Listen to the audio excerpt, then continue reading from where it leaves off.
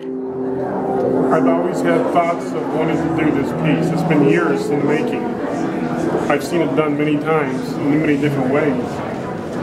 But it's I did it because it's powerful. It's a powerful piece.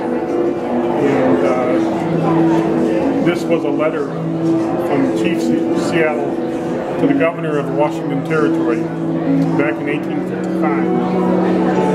And why it's so important is it was said back in 1855, but it's so pertinent to today, it still has a special meaning. That's why it's such a powerful piece. And it's very important to match. Chief Seattle was an Indian chief in the Pacific Northwest, so you match the, the cultural icon with the with the with the territory. So that he was this is from a totem so you, you match the area with the, with the uh, Indian culture of that region. So that's one of my, I always thought about doing it. It's what I always wanted to do.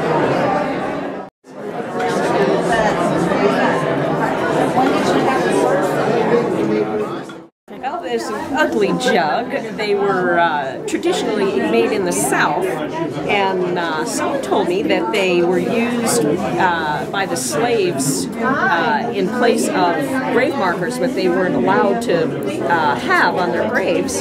But uh, the bootleggers took them over and bought them, and demon rum would be inside there. You, know, you don't want your children drinking that. You put an ugly face on there, but they're they're just fun to make and the uglier the better.